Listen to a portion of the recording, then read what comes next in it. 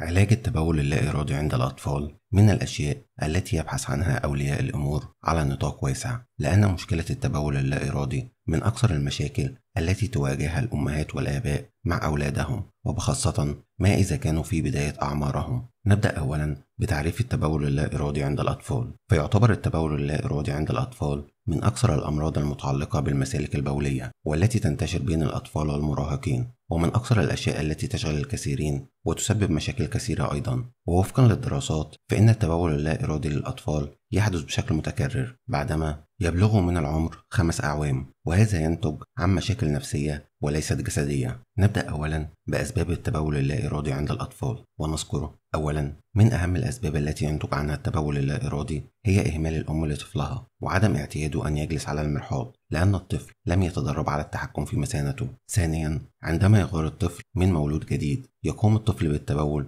فيقوم بغرض لفت الأنظار وطلب الاهتمام من من حوله وهذا اعتقاد منه أنه سيلقى اهتماما من والديه. ثالثا في كثير من الأحيان يكون التبول اللا إرادي بسبب التعرض لأزمة نفسية ناتجة عن مشاكل وخلافات بين أفراد الأسرة والتي تجعل الطفل مصابا بالتوتر والقلق. الذي ينتج عنه مشكلة التبول اللا إرادي رابعا عندما يقوم الوالدين بضرب طفلهم بصورة مستمرة وهذا يدفع الطفل إلى التبول اللا إرادي بصورة متكررة. وبخاصة إذا ما كانت الإهانة أمام الآخرين. خامسا إصابة الطفل بأي مرض يصيب الجهاز البولي مثل التهابات الجهاز البولي وأيضا مرض السكر. كل هذا بالإضافة إلى مرض الإمساك. وأخيرا يمكن أن يصاب الطفل بالتبول اللا إرادي في حالة وجوده في مكان لا يجد فيه الراحة. أو في حالة السفر والانتقال من مكان معتاد عليه إلى مكان آخر لا يحبه ولا يرغب في التواجد به. أما عن أسباب التبول اللا إرادي المرضية فنذكر منها أولا من ضمن الأسباب التي تؤدي إلى التبول اللا إرادي هو تأخر نمو الطفل الذي يعرف علميا باسم متلازمة الداون ثانيا إصابة الطفل بأي مرض مرتبط بالأعصاب أو يسبب له ضعف في التركيز. ثالثا يعتبر أيضا العامل الوراثي والجيني عاملا من ضمن العوامل التي تؤدي إلى إصابة الطفل بالتبول اللا إرادي رابعا عندما يصاب الطفل بنوبات الصرع بشكل متكرر خامسا في حالة ما كانت مثانة الطفل حجمها صغير حيث يزداد كمية البول عن الحجم المناسب للمثانة ويؤدي ذلك إلى تسرب البول من مثانة الطفل بشكل خارج عن إرادته. سادسا في حالة عدم اكتمال النمو لمثانة الطفل حيث نجد أنه في كثير من الحالات تكون الأعصاب التي تتحكم في المثانة تعاني من البطء في النمو والنضج. سابعا وجود خلل في الهرمونات عند كثير من الأطفال حيث نجد أن عدد من الأطفال أجسادهم لا تنتج المعدل الكافي من الهرمون المضاد للبول ADH الذي يتسبب في إبطاء عملية إنتاج البول بالتحديد في فترة الليل. ثامنا إصابة الطفل بالتهابات في المسالك البولية التي تؤدي لعدم قدرة الطفل على السيطرة والتحكم بنفسه عند حاجته للتبول. تاسعا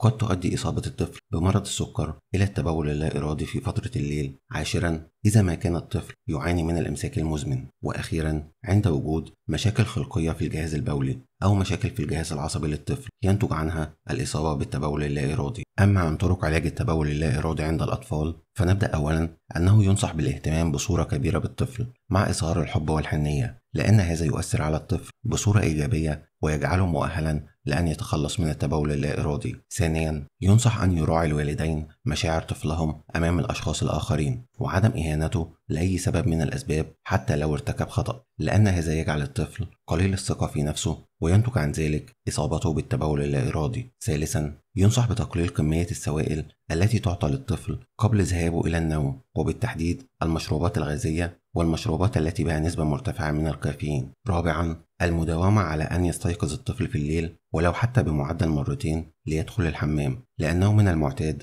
أن التبول اللا إرادي يحدث في الليل وبخاصة أثناء النوم. وأخيرا يجب أن يقوم الوالدين بالفحوصات الهامة واللازمة للطفل حتى يتأكدوا بشكل تام من سبب معاناة الطفل من أي مشاكل تدفعه إلى التبول اللا إرادي أما عن علاج التبول اللا إرادي عند الأطفال باستخدام الأعشاب فنبدأ أولا بالعسل. فمن المعروف عن العسل أنه مكون مفيد للصحة بشكل عام. بالإضافة إلى ذلك أنه يساعد الطفل على أن يتخلص من الحالات المكررة من التبول اللا إرادي بصورة جيدة. وهذا لأنه يقوم بتهدئة الأعصاب ويساعد الجسم على أن يمتص السوائل بشكل كامل. ثانيا الزنجبيل فينصح أن يطحن مقدار 20 جرام من الزنجبيل وخلطها مع مقدار 200 جرام من العسل الأبيض ويتم تقليبهم معا بشكل جيد حتى يختلطوا. وبعد ذلك يتم أخذ عدد ملعقة واحدة من هذه الخلطة ويتناولها الطفل بشكل يومي قبل أن يذهب إلى النوم. وهذا يساعد بشكل كبير على تقليص نسبة التبول عند الطفل في فترة الليل. وبالتحديد أثناء ذهابه إلى النوم ثالثا الزبيب الأسود. حيث تقوم الأم بجلب مقدار من الزبيب وتقوم بطحنه. وبعد ذلك تخلطه مع عسل النحل النقي وتقوم بخلطهم حتى يكونوا عجينة ثم يعطى الطفل مقدار ملعقة صغيرة بشكل يومي قبل أن يذهب إلى النوم ويستمر الطفل بتناول هذه الخلطة لمدة لا تقل عن أسبوعين وهي تساعد في خفض نسبة التبول اللا إرادي عند الطفل بشكل كبير. رابعا مغلي البابونج. فنعرف جيدا أن البابونج يعد من الأعشاب المهمة والتي لها دور كبير في علاج مرض التبول اللا إرادي ويتم هذا عن طريق تناول الطفل مقدار كوب واحد صغير بشكل يومي من البابونج المغلي بعد خلطه بالعسل ويستمر على هذه الخلطة فترة من الوقت. خامسا خل التفاح وهو يعد من أهم المواد التي تقلل من حموضة المعدة وبالتالي سيؤثر بشكل كبير على التقليل من الرغبة في التبول بشكل لا إرادي ولهذا ينصح باستخدامه للحد من مشكلة التبول اللا إرادي عند الأطفال. فيتم وضع مقدار ملعقتين من خل التفاح في كوب من الماء وإعطائه للطفل ليشربه بعد كل وجبة. سادسا زيت الزيتون. فيستخدم زيت الزيتون بشكل كبير في علاج مشكلة التبول اللا إرادي ويتم استخدامه من خلال تسخين مقدار مناسب من زيت الزيتون ووضعه على منطقة العين عند الطفل وتدليك المنطقة به وهو دافئ لمدة لا تقل عن 10 دقائق ويتم تكرار هذه العملية بشكل يومي ليتم التخلص من مشكلة التبول اللا إرادي عند الطفل. وفي نهاية حلقتنا نتمنى لكم السلامة ولا تنسوا الاشتراك بالقناة والإعجاب بالحلقة وترك رأيكم في التعليقات.